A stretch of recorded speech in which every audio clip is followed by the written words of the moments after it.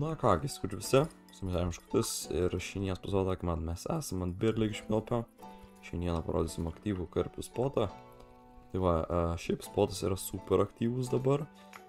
Boiliai palyginus nemaži, silveris geras. Taipogi išmera žuvies gera, daug labai trofėjų yra pasigaunamų šitam spote. Tai va, jau tik atėjęs jau turiu du amūrus, kurie yra virš 20 kg. Tai tas yra labai super dalykas.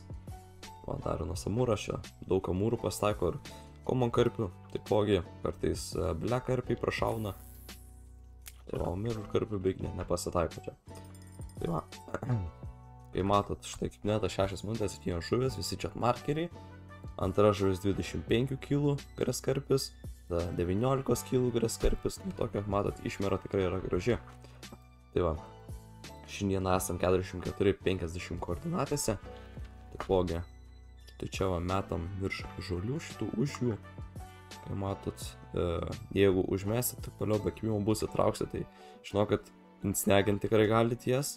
Čia jūsų žuvim neinsneginsit, tai taip patarčiau biškai šoną paėti, jeigu tiesiog ištrauktinėt. Bet paskui insneginsit ir galimai ilgai reikės insnegint bandyti.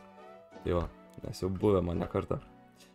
Tai va, šiandien žvėjom su Classic Pop Paparik sistema, naudosiu 36 kg litkorą under the clay spalvos 90 gramų smolio spalvos varelis, ram 6 kg pavadėlis retkamo, e, naudosiu 60 cm, dėl to nes padidina šansą pagal trofėjų, bet tuo pačiu metu daugiau šansų, kad ta žuvis nutruks. Mažiau centimetrų padėlis būtų mažiau šansų pagal trofėjų, daugiau šansų, kad ta žuvis nenutruks. Tai va. Kabliukas yra extra large 2.0, e, mountas yra Popo Boilie plus Artificial Corn, tai Popo Boilis ir netikras kukurūzas. Tai va, naudosim šieną Fresh Raspberry Popov 20, Raspberry Flavor Purple, Artificial Corn, uh, Raspberry Cream, dipas ir štai toksai buvo. Čia esu įsidėjęs Grampies, Raspberry Jam Fit Pellets 16, 12, 8, tada įsikrašinau Fresh Raspberry Popopą 16 dydžio boilį, sutraiškiau ir įsidėjau ir naudosim Attractant Raspberry. Va, štai tokie va mūsų setupai šiandieną bus. Visur tas pats, kabliukas S2.0, kai matot, Va ir bandysim šiandien žvėjot, pasidėsiu iki kito ryto, kažkur apie valandą, manau, turėčiau čia pabūti. Galbūt koks trofėjus prašaus būtų visai neblogai. Tai aš tai dar nužuvis, gerai, čia mes turim pirmą mirror karpį, gerai, 38 kg. Nedidelis, bet ką darysi. Pirmos yra meškerės klipą naudoju 23-24 metrus. Tai va, Štai, amuriukas, bet dabar yra vidurys dienos, kai mato, tai dabar labai nesitikiu nieko pagaut. Šiandien oras toksai, nu, 50-50. Va, kai grūstinis koks ir taip toliau, va, tada labai geras oras, trofitaimas būna, taip toliau. Tai va, tada jau yra super. Jo, šiaip dabar šiuo metu yra aktyvios Donuts rūfė. Jo, dabar bandysiu spėju ant jų sėdėti. Vakar darėm competitioną, turnyrą iš Valsaminų e, masalų. Tai va, competitioną galima buvo laimėti. Iš viso keturis competitionus per dvi dienas padarėm, dar šiandien taipogi darysim, kas norėsit galėsit prisijungti. Kažkur apie 7 vakaro planuoju daryti. Tai va, irgi. Dar nežinau tiksliai, ką gaudysim, bet spėjau galbūt Belai ir kokiam Valkove. Tai va. Ir galima bus laimėti taipogi balsaminų rinkinį. Tai va. Ir vakar didžiausia, kokia buvo pagauta dar nusurfė, tai buvo 248 gramai Edzius, Taip, Edžiaus, 2 gramai nuo trofėjaus, tai va, grūzą pagavo, bet už tai laimėjo, už tai malsaminų rinkinį. Tai va, paskui Aro laimėjo, uh, Berleikė, kai buvom competitioną, kai darėm. Tai va, štai, kibimas, Aroj, ant kurio šiame iškilės kliovina, antros. Tai va, mapė šitas podas yra E5, štai čia va E5 kvadratas, nėra toli nuo spono, čia šiaip toksai nedidelis palyginus žemėlapis. Kaip vaikščiot, taip toliau, tai gan patogu. Va, dar anas skarpienzas. O, biškai prasuko, bet čia mūras spėjau bus. Jo, amuriukas. Kai 7 gal kilai turėtų būti. 8,7. Nu, man dar happy hour šiuo metu, kai matot, yra. Tai bonus silveris, nes silveris XP. Visai neblogas. Dar turiu kem 5 dienas premium, kai matot. Tas yra labai super. O, čia jau nuėjo žuvis jau buvo. Sulenkė, mačiau ir dingo reikės jau arbatos kavos pasidaryti, nes jau beveik nebeturiu. Labai greit susinaudoju, nes dabar dažnai kasinėjau. visas lervas taip toliau, va, 300 PM rainosorius, molka reikėtų virš 100 jau. tai va, erškėtama, 100 kem river muselių, bet čia museliai tai gaudant sticklebekus, kur aš niekada nesugebu pagauti, aš nežinau kodėl, bet man nesiseka su jais. Tai va, vakar pagau, arčiausiai tai buvo 2 gramai nuo trofėjaus, kai matot. Tai va, nu ką darys, dar buvau nuėjęs į Jamon, Jamon River pažvijot, tai Launų sakerius gaudžiau, bandžiau pasigauti čia markerį pirmą savo, tai visai nemažai aš ten pagau. Tai va, didžiausias dabar yra 1,2 kg. Tai tikrai labai super, jisai jau gražus, nemažas. Trofėjais eina, man rodos, nuo 2 kg. Tai va. Žodžiu, bandysim žvijot, e, žiūrėsim, kad čia gero pagausim, pasėdėsiu dar visą vakarą, naktį ir rytą, į kažkur 9 valandų žaidimo.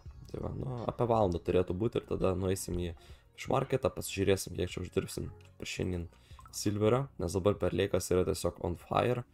Uh, kimba jau gal kokią savaitę, dvi. Tai koko, banano kimba, taip toliau vis Discord'e buvo kelti spotai, tai jei kas norit spotų taip toliau, tai Discord'e gali prisijungti, nors yra aprašymą po video, vis ten yra įkeliami. Tai va. Ir dabar ant raspberry perėjo, taip tai buvo ant koko, tai banana, kybo ir dabar ant raspberry. Šiaip raspberry jau senokai kada kybo. Raspberry man patinka, nes ant jos aš tikrai daug gerų žuvų turiu pagavęs ir auksinį linai, kai matot, ant raspberry irgi taipogi paima. O bet aišku 16 dydžio. Jo, pagrindė. Va, matot, yra trofėjus pagautas 4,8 netgi. Tai va, čia vakar pagautas trečią dieną. Tai va, man žodžiu, žiūrėjom toliau. Sustiksim, jeigu kažką geresnį kabinsiu, o dabar tiesiog tiesių žvejybą, toliau kasinėjo ir laukiam vakaro rytas, kaip matot, naktį kažkaip biški nurimęs kliovas buvo, žiūrėsim, gal dabar geriau bus už tai. Galbūt kažkas parašaus ir didesnė, bet va, dar vienas veidrodinis, 8 kg, kibimas ant trečios, buvo jau pabaigiau vieną, dar kitą pradėjau. Tas jau 9 iš 10 quality, kaip matot, net tokios geros kokybės, vis tiek. Ai, šitos galėjau šią podelį pasikeisti, nes pas draunui podelio, šitos važtėjau 01 jau suvarytas, jau. A, čia žuvis, bet čia labai mažytė kažkokia. Tai va. Ai, karasikas. Karasikas, 500 gramų. Tai va, jam 6 minutės, tam 3 žuvis, tikrai neblogas kliovas daug chat markerių palyginus darytas, o pastėsiu kokių 8, manau. Ir tada eisim parat žuvį tikriausiai, tai va. Šiaip tai nežinau, visai neblogas toksai, kliovas man patinka čia, bet reikia pasidėti, aišku, čia. Trofėjais visus turiu užsidaręs, manau, amberį kokiam būtų man geriau, nes ten vis tiek daug šansų yra pasigauti visokio kitokio ir tai retas galbūt koks už, už, užeitų, koks dar kažkas tokio.